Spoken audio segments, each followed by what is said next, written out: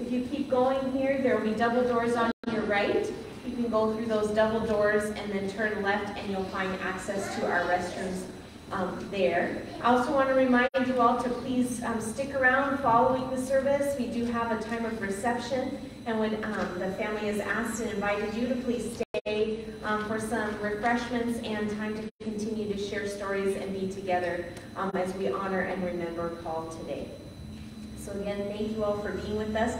There's a lot of beautiful, wonderful music that was chosen because of Paul's great love of music. And so we're going to start with um, a really special hymn um, for the whole Persson family, and that's number 732, Morning Cry. And again, if you haven't used our hymnals before, you're looking for the big numbers on the top of the page, and that'll get you to 732. Ignore the small numbers on the bottom. That's not, not you. And so together we'll sing our opening hymn, Morning Cry.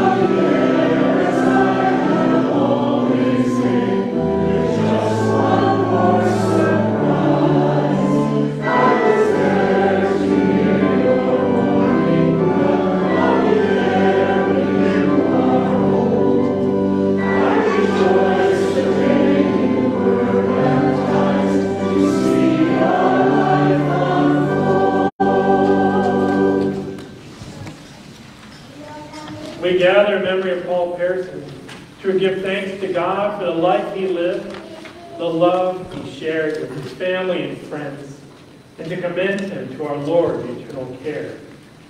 And we begin our service in the name of the Father, and the Son, and the Holy Spirit. Amen. We sing our hymn, Children of the Heavenly Father, it's hymn number 781.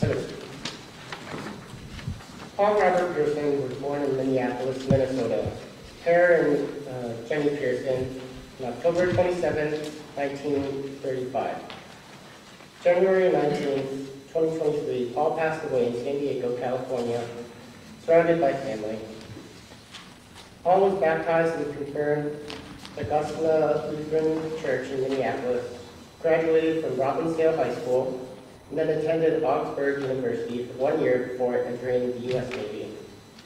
Stationed in South Weymouth, Massachusetts, Paul served on active duty for two years before returning to Augsburg, for which he graduated with a degree in music education and biology.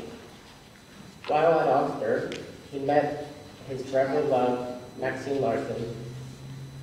Paul was in the Augsburg choir, and both of them were in the Augsburg band. After the two were married in Paul's senior year, they went on a six-week honeymoon to Alaska on tour with a 60-member band. The Persson family grew to be a family of four, with the addition of his daughter, Kristen Marie, and his son, David Mark. For two years, Paul taught in Aitkin, Minnesota, and then taught for one year in Muskegon, Michigan. At that time, Paul decided to leave teaching to pursue a career in pharmaceutical industry. After serving as a sales representative in Minnesota for Organon, he became a hospital specialist in Chicago, where the family lived for three years. Then became the director of training at the company's home office in New Jersey, where he lived for nearly 40 years. Paul moved ahead the company as director of special chemicals and, pro and product manager before retiring. When Max retired in 2014, Paul and Max moved to San Diego. Being Swedish was always very important to Paul. His parents and the oldest sister immigrated to the U.S. from Sweden. Because his parents wanted their children to be American, they didn't teach Paul to speak Swedish when he was young. When Paul was 11, the family went by ship to Sweden to live there for a year with the Persson family. While on the ship, the crew taught Paul how to speak Swedish, and while in school in Sweden, Paul's teacher one day told him, if you can't speak proper Swedish, don't speak at all. at Augsburg, Paul started directing church choirs when he was in college. He was either a choir director or sang in the choir until he moved to California. While at church in Minneapolis, his choir, augmented by children in, in the orchestra, performed a musical Tell It Like It Is. There were performances at churches as well as, as well as others in Minneapolis. One weekend, the traveled to Duluth, Minnesota to give a performance there.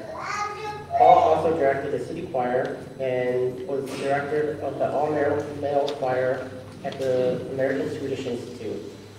Paul was a soloist and sang for many weddings, many funerals, and many church services. When Paul first moved to New Jersey, he purchased a pipe organ for from a hospital in Hoboken. He spent countless hours for that first year disassembling the organ, packing it, planning to reinstall it in the Persson home. The church at the time was entering a building and remodeling project, so the family decided to donate it to Trinity Lutheran Church in Dover, New Jersey, where it now resides and is used all the time. Paul had other interests besides music. He was an avid golfer, winning tournaments in New Jersey, he also loved ice hockey and served as team coach when David Mark was playing as a youngster. Later on, he started working with the high school hockey program in Morris County, New Jersey. Paul was with that program for 30 years as the secretary of the treasurer for the league, in charge of minor officials, and the Mennen Arena game announcer. He loved being involved with the sport, the coaches, the players, and the fans. Paul loved traveling, Chinese food, entertaining, photography, spending time with his family and friends, and was a fab- fabulous joke teller and socializer. Paul's Christian faith, faith was of most importance to him. He was actively involved in congregations when the family lived and served in church councils, stewardships, music programs, financial secretaries, and youth leader and welcoming member and visitor. The highlights of his life were two grandsons, David Paul and Michael, his granddaughter-in-law, Emma, and his two great-grandchildren, Eileen and Barrett. He loved going on activities, sporting events, playing with them, talking with them, just playing games with them. He was a very loving husband, dad, papa, and farfar. Paul died after his son, David Mark, should be reading this today, but they're together again forever.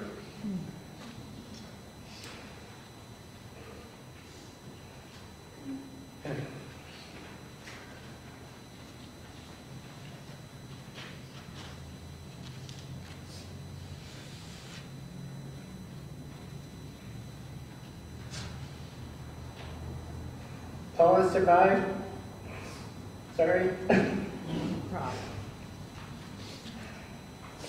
He's survived by his living wife, Max, his daughter, Kristen, his grandchildren, David, Paul, and Michael, and David's wife, Emma. His great-grandchildren, Eileen, Jean, and Barrett. His sisters, Nancy, Sue, cousins, nieces, nephews, and many friends.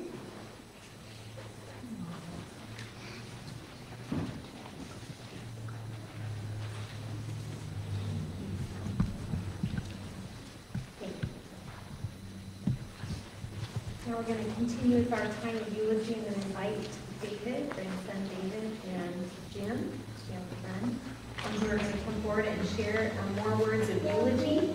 After this, uh, Pastor Manuel will be sharing, uh, will be sharing in a time of open sharing and time of remembrance uh, with our microphone, and so Pastor Manuel will walk around, and if any of you would like to share a brief memory, thought, story about Paul, um, you'll be invited to do so in just a moment.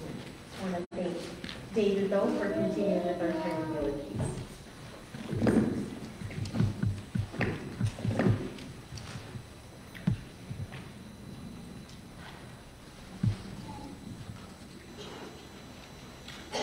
Uh, I'm going to try out a little response- story if you all don't mind. So, it's going to go a little something like this. So, my arm comes up.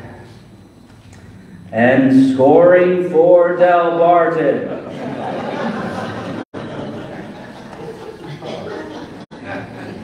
Let's give it a try. Ready? And scoring for Delbarton. All right, one more time, let's go a little deeper. And scoring Perfect, we're, we're gonna do great. Uh, I just wanted to talk about, you know, a couple things that my grandpa really loved. Uh, first thing was kids. My grandfather loved kids. And whether it was the joy of being a perpetual child himself or perpetually surrounding himself with the joy of other children, he could not keep himself away from that most pure kind of joy. He coached, he taught, he directed, he parented, grandparented, and great grandparented. As much as he loved Kristen and David, it won't be hard to hear affirmations from Joe, Jim, Bob, Lisa, Scott, Bob, Harry, Jeff, and countless others. That Paul Persson was a father to all of them. And then there's myself, and Michael, and Miriam, and my son Barrett, and of course, Ida. I knew him as a grandfather who wholeheartedly embraced the role of curmudgeon. I can remember Michael and I running up to him and doing something that would just absolutely annoy the hell out of him, only for him to scowl and shout at us, send us running away and screaming with laughter. And if we happened to look over our shoulders, as we were running away, we'd see him smirking and giggling at the group. And while those scowls and shouts only got stronger with Eiley and Barrett, the smirks and giggles only got twice as strong. Farfar's best moment with Eiley was bouncing her on his foot and teaching her the Swedish folk song, Rida, rida, ranka, Hesten, heter Blanka. I'm pretty sure Eiley could still sing it today, yeah. Uh, but when he was getting older and not able to get as much, get out as much as he would have liked, he was always asking when the next time our kids could come visit him. And as close as my dad was with his mom, my grandma, I think we all know how much Paul really missed him. And I definitely know that being able to reunite with him is one of the biggest parts of his ultimate peace. And it's also no coincidence that Eiley is one of the last names and faces you probably remember.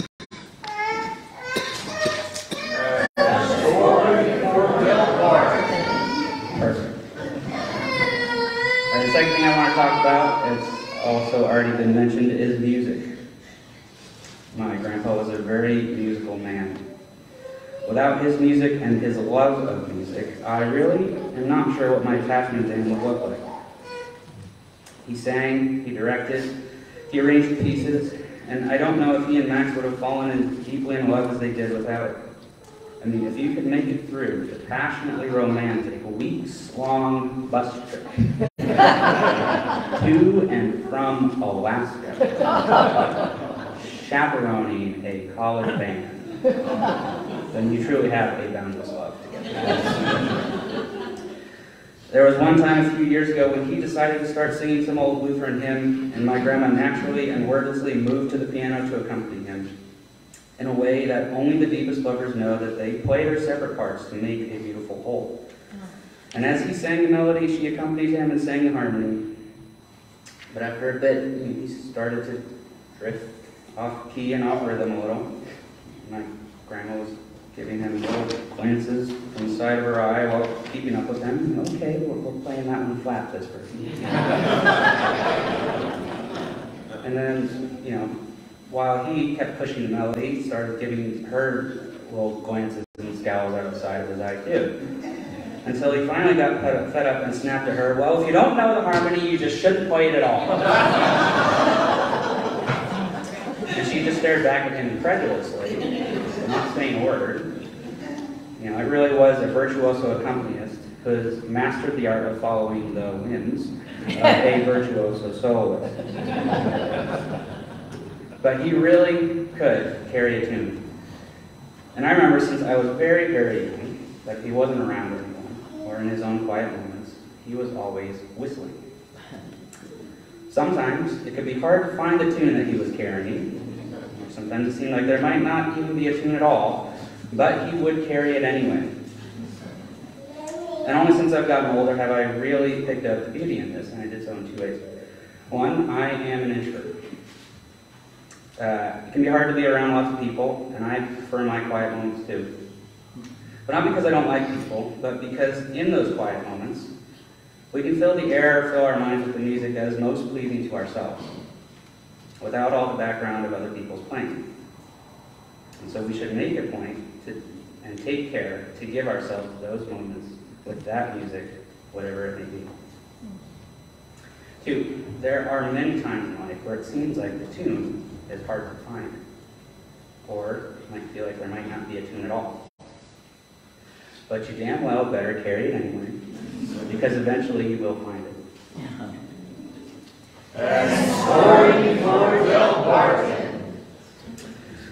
But the thing that I most identify my grandpa with is hockey. He coached, he organized, he was a PA announcer, and like kids and like music, he surrounded himself with it all the time. The first hockey game I can remember going to was just me and him when we crossed into enemy territory and we watched the New Jersey Devils play the New York Rangers in Madison Square Garden. Our beloved Devils won that game, and from then on, I was hooked. Now, I never really played hockey, and I'm sure there was plenty of spoken and unspoken conversation and disappointment between me and my dad that I cannot escape. But I'm still hooked. Ask my wife how helpful I am if there's an important game on. Uh, and there was one time, about seven or so years ago, when I was still living here with Max and Paul and Kristen, that I saw the Devils were traveling to play the Ducks up in Han- Anaheim, just up the highway. With serious conviction, I bought tickets and then loudly declared, I'm taking him to a hockey game. Max kept doing her crossword puzzle because she didn't hear me. And Kristen, laughing because she saw that Max didn't hear me, said that that was probably a good idea. And it was. It was a great time for us to drink beer, talk shop, and most importantly, watch hockey. Well, he watched a lot of hockey, and I watched a lot of him. You see, this was a time when he was starting to decline a little bit, you know, fumbling over words, starting to forget names. So I wasn't really sure how this was going to go. But let me tell you, hockey is something that got this man out of his seat. Literally. He would be rising out of his chair a good 10 seconds before anyone else in the arena because he could see the play developing in a way that only someone who spent their entire life around sport could. And sure enough, when the Devils scored the first goal, he rocketed up and screamed before I could, and did so without a cane, without help, without any kind of urge. It was the most laser focused and lucid I had seen him. And I think it's only fitting that the first game I remember going to, and the last game he probably remember going to, was the Devils winning.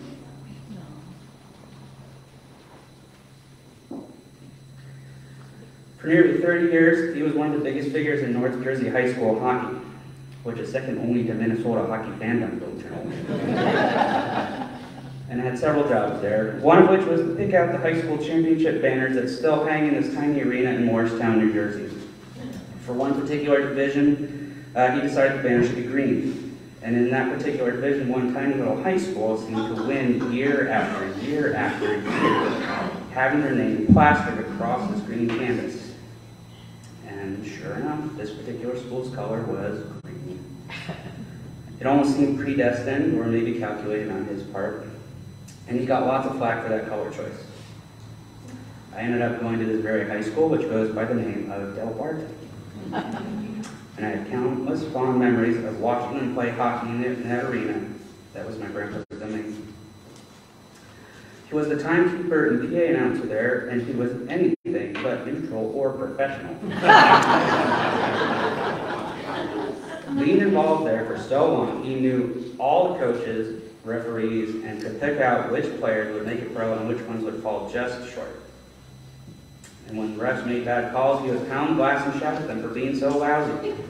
When kids would end up in the penalty box right next to his booth, he would let them know if they keep taking boneheaded penalties like that, their career is over and probably the rest of their life. now,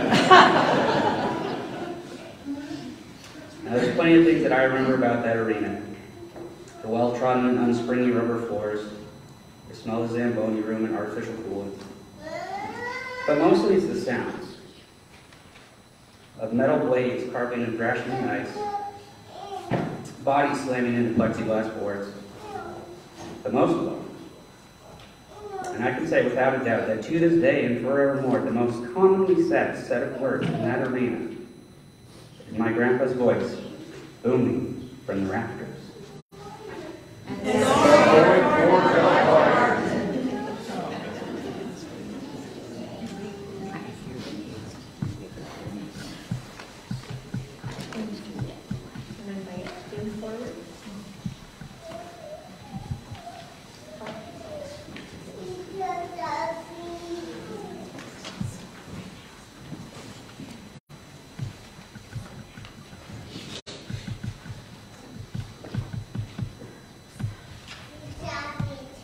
That was absolutely beautiful. Thank you for sharing that. Good afternoon. I am Jim Corey of the Corey family from New Jersey. And uh, Max, Max kindly asked me to speak for about two minutes or so to reflect on uh, Mr. P, as we so fondly call him. So of course, that's going to give me some liberties, and I am going to unpack this story. Sorry, Max. So our families um, crossed paths in what I call the formative years. For me, grade school through grad school and beyond. So how did it all start? Well, it was my middle school football game, and their son David and I, who basically share a birthday, by coincidence, were playing. And my sister Linda, and certainly Kristen at times, were doing their cheerleadings. And alone in the stands was this crazy guy repeating all of the cheers and dancing along with the cheerleaders. My father thought that was hysterical and went to join it. And thus, a friendship was born that grew into much, much more. So my dad came home with a new best friend. So as we found out, Mr. P loved to tease. He loved food and its preparation, but more about that later. So, as a background, yesterday was St. Patty's Day, as you all know, the high holy holiday in Corey family. My mother cooks Irish, bland, boiled, no salt, no pepper, nothing. But she wanted to have Perssons over for dinner and dessert. So my mother actually baked a cake and proudly served it to the families.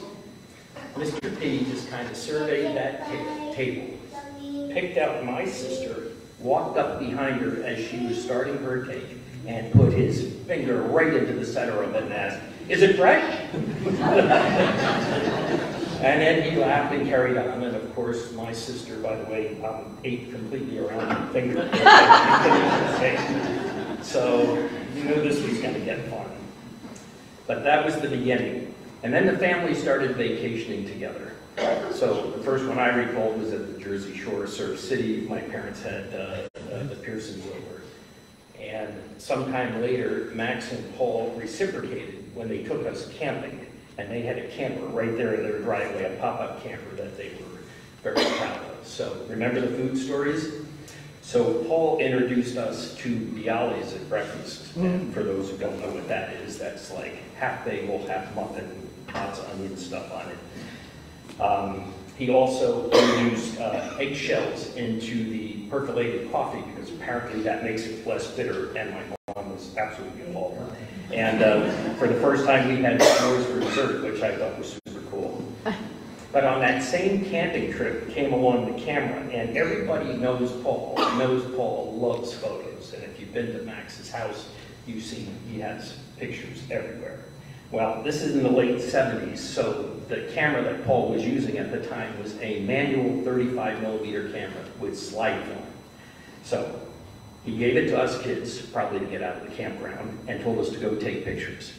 No instructions, no autofocus, nothing. And at the end of the trip, we all went to the Persson's house to enjoy a slideshow. He proudly displayed every blurry picture and left along the way, recalling the memories of the entire trip. Really fun. As time progressed, the Chris, uh, the Corey Persson Christmas Eve traditions started. Every year, the Sunshine and Snowflakes album came out. The Dingers, the candles, you can ask Kristen later about those. The Swedish lutefisk with the allspice. The apple cake with rum sauce. Please recall the bland Irish diet that the Corys are coming for. Paul loved it. He takes such enjoyment in it every meal, every year. But I guess if you're going to play extended family, remember all of those experiences filled with laughter and fun come with a huge responsibility. And did Paul step up to the plate? So my sister, a new driver, she ran a red light, pushed another car into a gas station pump. Both. Oh. Thankfully, no one was hurt, but we like to report that perhaps the gas station guard dog didn't fare very well. But my parents were out of town, so who was the first call? Mr. P. My youngest brother Joe was here. He was at our mountain house with some high school friends, and they decided they were going to go hunting in the snow.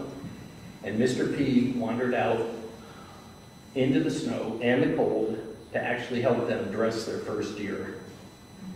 And he told Joe, wow, when he lived in Minnesota, it was no problem. He'd just go shoot moose. It was no big deal. So I thought that was pretty cool. But from good stories, go to part two.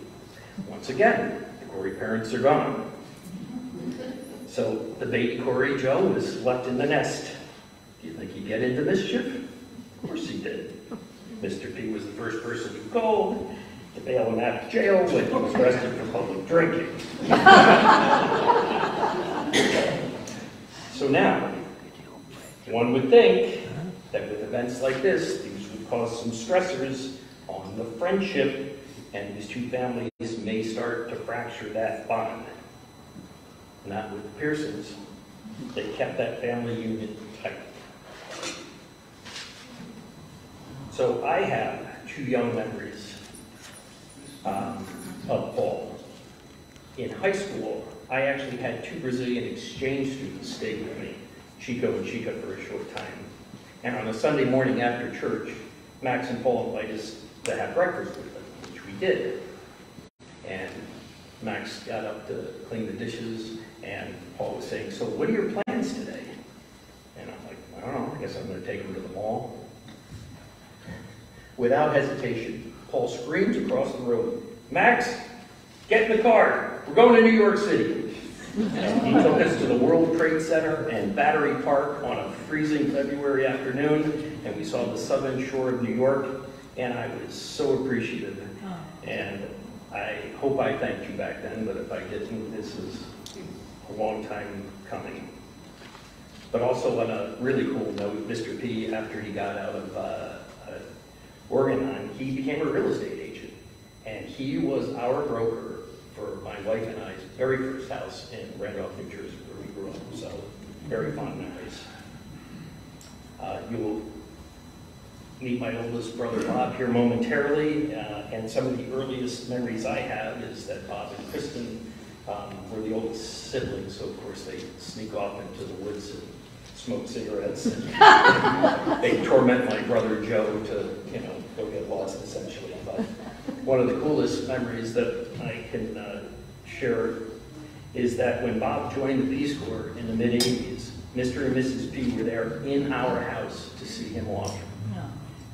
But more importantly, Bob called Mr. Persson from the Dover bus station at the neighboring town to come pick him up from the Peace Corps so he could surprise my parents upon his re- arrival after three years from coming home from Africa. Oh, Pretty cool. This is a man who was always there for us. This is a family who was always there for us. So I ask, what is the true litmus test of a family's love and trust like that? Anybody?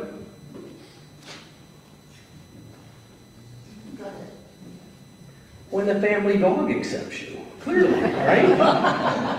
On the 4th of July, the Coreys were at the Perssons after a fireworks display at the local county college.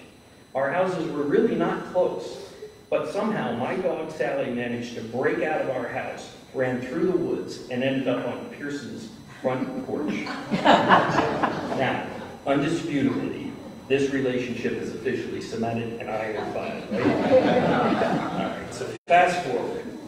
My folks, Ken and Mary Jo Corey, and Mr. and Mrs. P, coincidentally celebrated their 25th wedding anniversary within three weeks of one another. So they went to Hawaii together for a month. Did I mention that Hawaii has moonbows? They did, a lot. But we kids had a party for them upon their return. And real Vegas odds were being made on if they would return, either being more besties or not speaking to each other again. But we kind of figured out where that bet went, so. Some years later, they also spent three weeks traveling to Denmark, Norway, and Sweden to see the town where Paul grew up, his childhood home, and his one-room schoolhouse. So here we are. 50 years later, the Corey boys have a second set of parents and two siblings that have been intertwined into our lives. This is a house of faith. I truly believe this is a union that God wanted us to share together.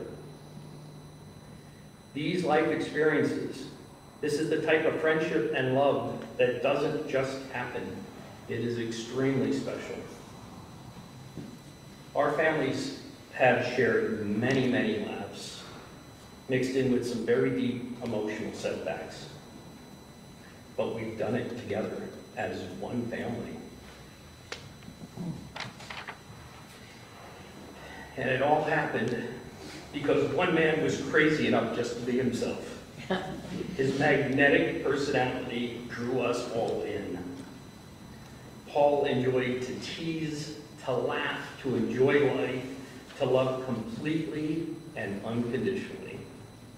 And we all here have benefited because of it. I will continue to miss and love him. Thank you.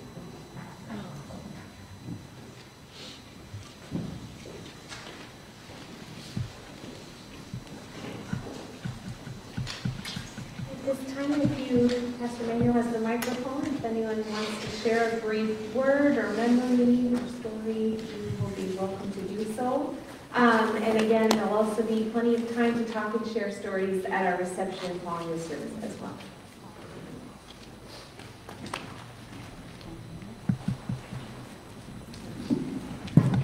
I have heard many, many wonderful stories of Paul in his later life. I am Paul's sister Sue, and, um, Oh, those. And, um, Paul and I we're were 11 years apart, so we were growing growing up. up. And I was just this kid, and he used to take me on his paper route. It Like, was around there. Um, and put me in the basket of his bike and take me around and, you know, throw papers, whatever. But Mom told me that he took care of me a lot. He was always concerned for my well-being and, um, this is the first time I saw, I actually saw a picture of Paul at your house the other day. Um, playing with me in the front yard. I've never seen a picture of that before. Anyway, to go on. Um, Paul sang at my wedding. There's another one. Before, um, when he started, you know, I was about, oh, five or something when he started started his music education and um, at Oxford. And so he was playing the piano and doing a lot of hymns and a lot of songs. And I just was around that, so I started to pick it up. So in third grade, at the, at the school music, or at the school, um, uh, not the concert, the, um, you know, talent show. Yes, thank you very much. Um, um, I sang the Lord's Prayer. Third grade, public school, and I'm singing the Lord's Prayer. You know, it's like, they all looked at me like, okay, you know, that's pretty good. So then, at my wedding, Paul sang the Lord's Prayer. And it was, it was beautiful, except that he forgot the glory. He gave me a lot of power, but he forgot the glory. And I've always teased him about that. You left out the glory. So I love my brother, but it's gonna be hard. Um, you know, after a while, you take them for granted. You just think they're always gonna be there. And it's, it's a big loss. We're gonna miss them. Thank you.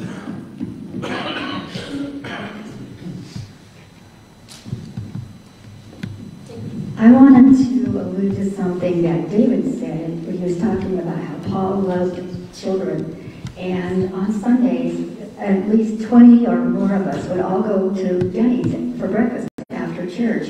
And we were always taking our baby granddaughter with us, who didn't always be quiet.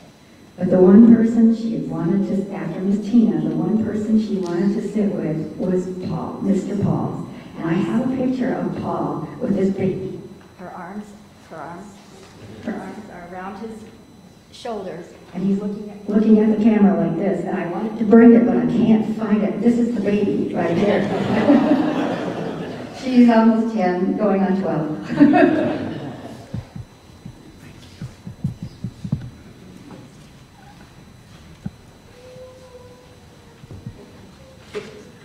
in the choir box.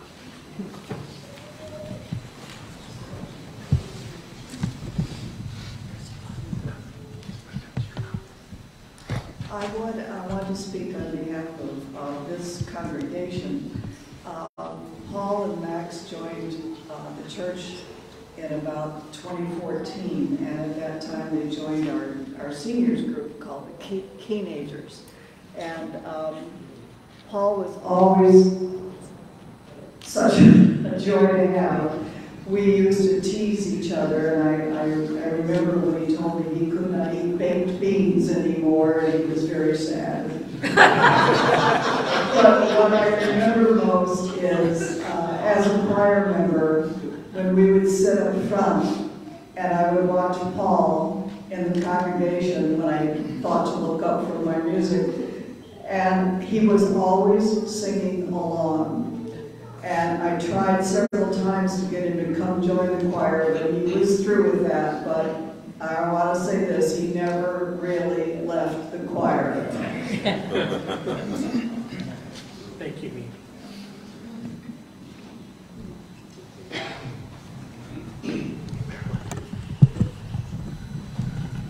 Yes, I just wanted to say that Paul was always a gentleman. And what fun it was to have him around us and see us. And I think that we missed out on a good part of his life. I would love to have seen him in his occupations, in his hobbies, and all the things that Max and Paul shared together. And I thank you all for sharing your family, uh, because it enlightened us and just broadened our, our uh, friendship with them. Thank you.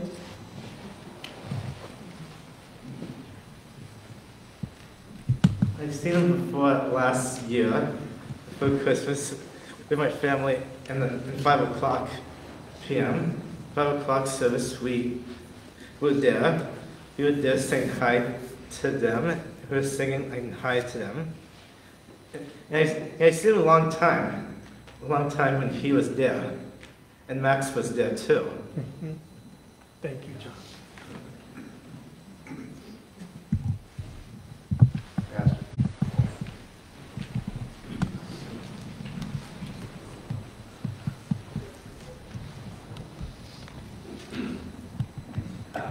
Eileen's, Eileen's feeling a little bit shy, but she just wanted everyone to know that she thinks that Farfar was a really great grandpa.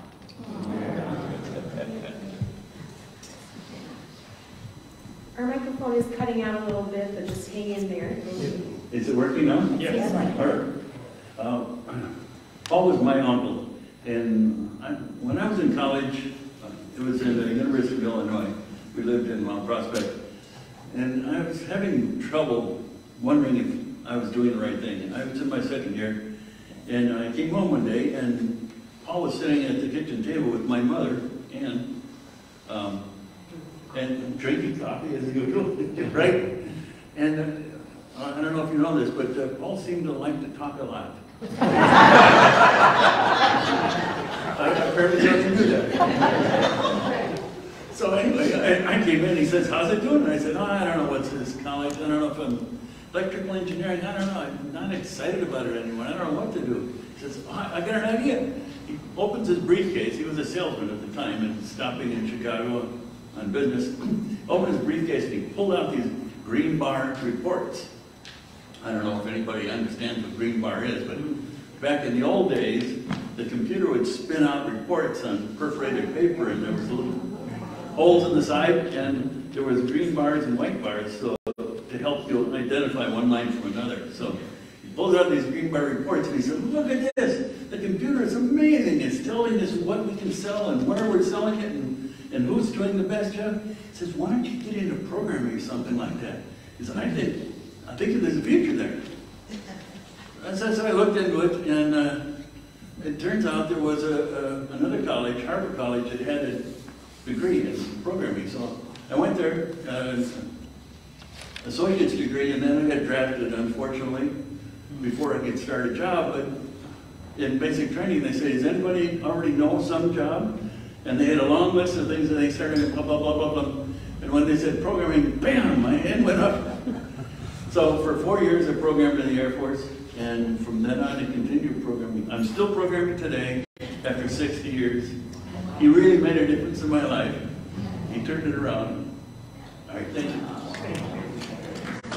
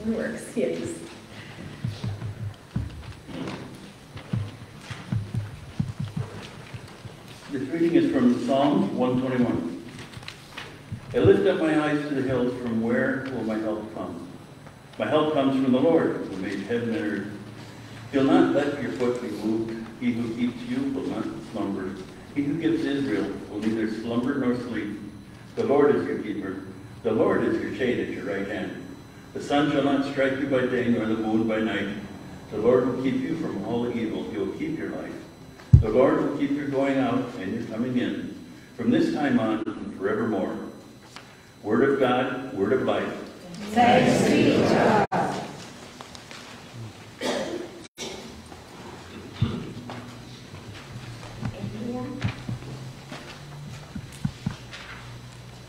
And Joe, you're welcome to come up too.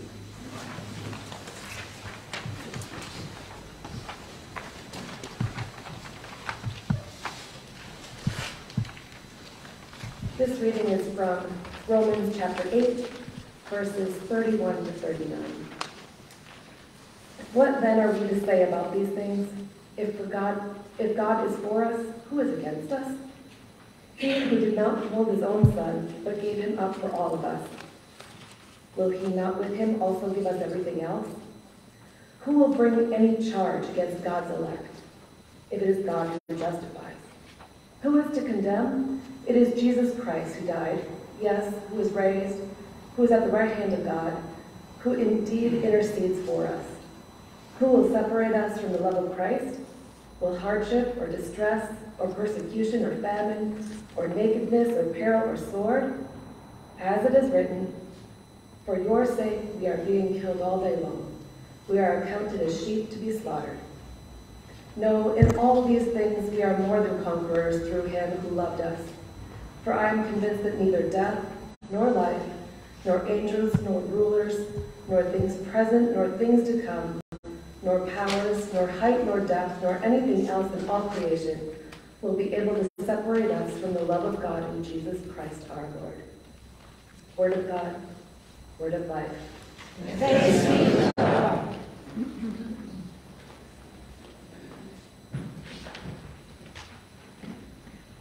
The next reading is from John 14, 1 through 6. Do not let your hearts be troubled. Believe in God, believe also in me. In my Father's house there are many dwelling places. If it were not so, would I have told you that I will go prepare a place for you?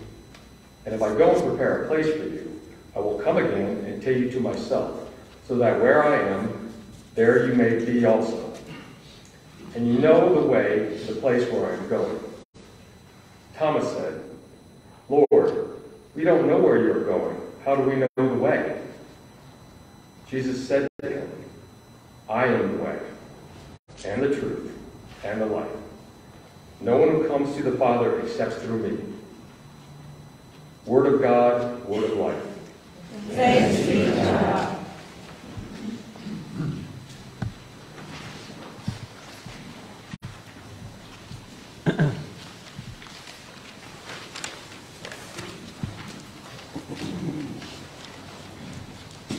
Let us pray.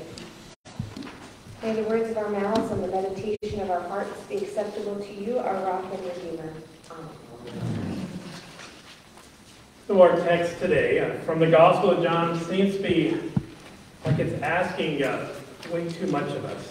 We're in the midst of grief after the loss of a loved one like Paul. Do not let your hearts be troubled.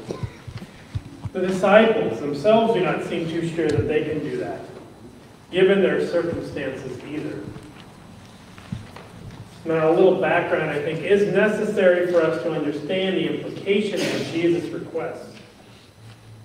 Disciple Judas has just left the upper room in the dark of night. Both he and Jesus know he will betray him for a small bag of coins. And then Philip wants Jesus to call God down so he can have proof. A troubled heart's something we allow to happen. And Jesus attempts to still their troubled hearts by telling them he is leaving and he's going to make a place for them where he is going. Now, on the one hand, it must have comforted them to be included. On the other, I know this kind of living must have troubled them all the more. Over the last few years, through Paul's decline, both he and Max went through a lot of ups and downs. Paul was determined to do things in his own way, sometimes struggling to accept that he couldn't always do what he thought he should be able to do, especially when it came to the things that he deeply loved. Throughout it all, Max demonstrated what I might call a divine patience and love for Paul, caring for him with such dedication and thoughtfulness. For a long time, Paul was determined to step up these stairs to receive communion. You might notice that our altar is on the floor now. A huge part of that is because of Paul. He was determined to walk up these stairs when our altar was up here so that he could join the circle around the table and receive communion, much to the concern and distress of many of us here who watched him with holding our breath every week. But he loved worship and communion. His Christian faith and participation in his church were too important for him to give them up easily. And so it was after that that we decided it was time to bring the circle down to Paul. So that he could continue to receive the bread and wine with that signature twinkle in his eye as he heard the words, Paul, this is the body of Christ, given for you. I think this is part of what Jesus means when he tells the disciples that the way to the Father is through him. The way home is not about going to a place. It is about the relationships that make the place home. Jesus is going to prepare their place, wherever this that may be, and wherever they will need it, because he already loves them. All through the Gospel of John, in our text from chapter 14, and earlier reading in chapter 11, with Martha's straightforward statement to Jesus about her brother's death that could have been prevented if Jesus had just gotten there when he should have. It is about connections.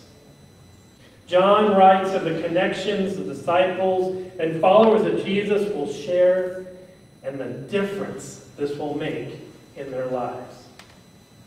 So not allowing a troubled heart need not be seen as a promise of a pain-free, worry-free, and fear-free life. If we read verse 1 that way, it seems to promise too much. But it does say something about the kinds of things that Jesus thinks might trouble them. Jesus wants his followers and us to know that the only thing that should trouble hearts is separation from God and each other. His words about preparing a place intend to take care of that. Jesus promises that they too will have the ability to share this relationship with others. And part of their job as disciples will be to stay in relationship with one another so that they can be the place preparers for future disciples. John's use of the word house or family rather than building gives a sense of community and relationship. In the Father's house or family, there are many ways of being or dwelling. We translate the nominal form of the verb meno to abide as dwelling places. Abiding with Jesus weaves its way throughout the Gospel of John. And Jesus tells the disciples and us something important about where he is going to the Father is perhaps a relationship and not a place. These many dwelling places reveal to us not changes in geography, changes of the heart. It is an ongoing thing because it has already been done for us in some sense and remains a future hope for us as well. And so a transformation happens. A change of heart from troubled to peace-filled embraces these followers of Jesus as they learn along their way that Jesus has come with them and also goes ahead of them to prepare a place. A destination like this changes everything. A companionship like this changes everything. Now, Paul's life was full of companionship. As he partnered with Max in creating a household, a home, a dwelling place for those in need. Now I'm convinced that he is with the Father, helping to prepare a dwelling place for us all, filled with all the beautiful music that he sang or whistled. As we heard in the reading from Romans, there is nothing that can separate us from the love of God in Christ Jesus our Lord. I know that Paul believed this and trusted in this promise all the days of his life, even through those final days when he struggled to express himself, even in the times when his memory seemed to fade. Paul's life was and is a witness to the love and promises of God. And those of us who knew him and loved him were blessed by the faith that shaped him into the person he was and will continue to be in our memories. Paul would want each of you to know how beloved you are, not just by him, but by God. And there is nothing, nothing you have done to earn that or keep it. But this love and grace is a gift, freely given, without conditions from our Savior Jesus Christ. We thank God for this gift of grace, and we thank God today for Paul. Amen.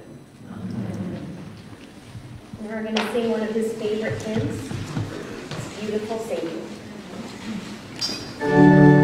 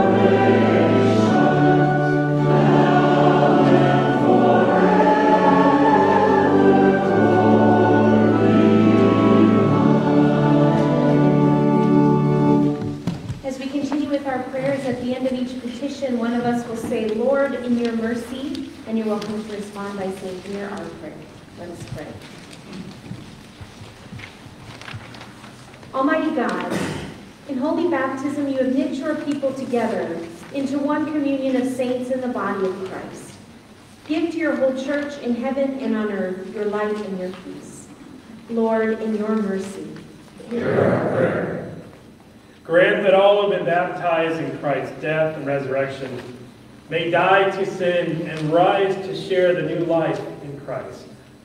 Lord, in your mercy. Give courage and faith to all who mourn, and a sure and certain hope in your loving care, that casting all their sorrow on you, they may have strength for the days ahead. Lord, in your mercy. Grant to us who are still in our pilgrimage and who walk as yet by faith, that where this world groans in grief and pain, your Holy Spirit may lead us to bear witness to your life and life. Lord, in your mercy. Help us in the midst of things we cannot understand to believe and trust in the communion of saints, the forgiveness of sins, and the resurrection to life everlasting. Lord, in your mercy. God of all grace, we give you thanks because by his death, our Savior Jesus Christ destroyed the power of death. By his resurrection, he opened the kingdom of heaven to all. Make us certain that because he lives, we shall live also, and that neither death nor life, nor things present, nor things to come will be able to separate us from your love in Christ Jesus our Lord, who lives and reigns with you in the Holy Spirit, one God, now and forever. Amen.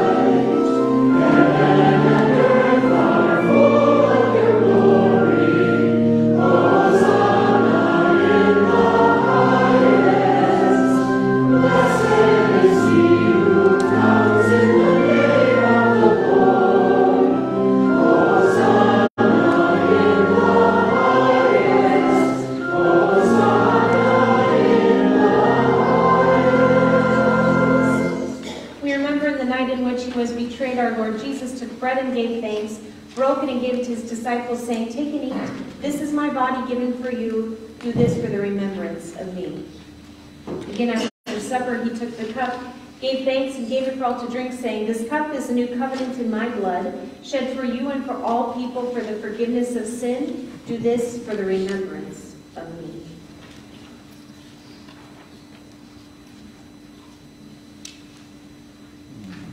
Now we're very grateful to invite our soloist, uh, Chris Stephens, forward. Um, He's going to lead us as we hear the words of the Lord's Prayer um, with the Malat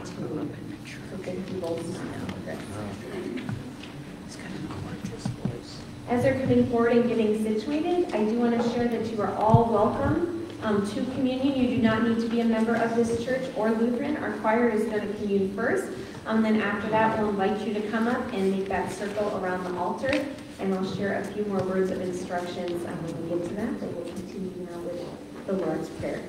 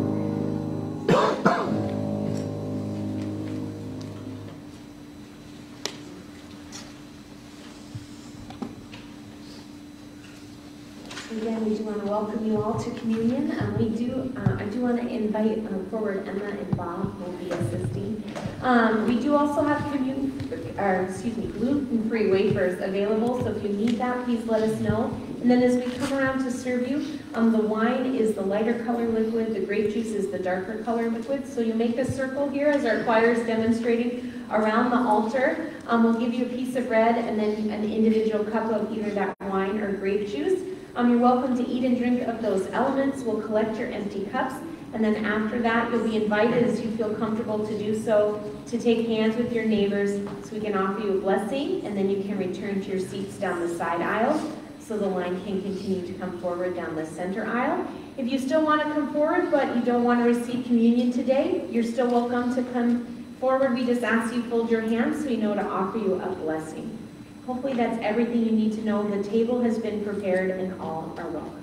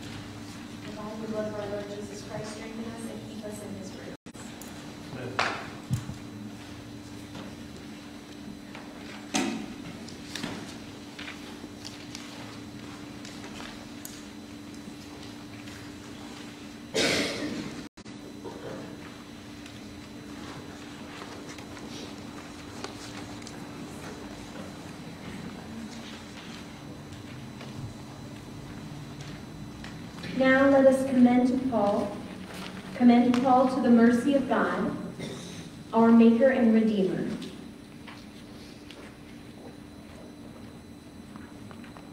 Into your hands, O merciful Savior, we commend your servant Paul.